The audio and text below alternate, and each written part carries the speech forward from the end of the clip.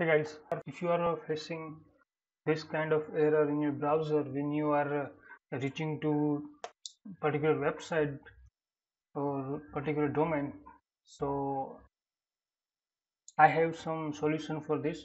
First of all, you have to disable your antivirus, whatever antivirus you are using.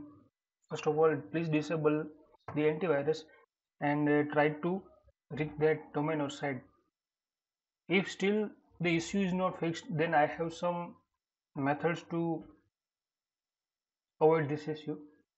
So this issue is still not fixed. Then just go to the Chrome browser and just click here to the hamburger menu and click on more tools. Click on extension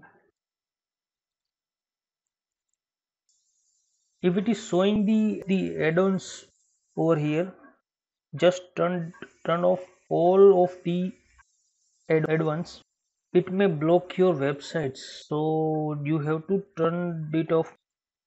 After turned off the add-ons just open that particular website and hit on refresh button. The issue must have been fixed. So thank you guys. That's it please do subscribe to the test floor.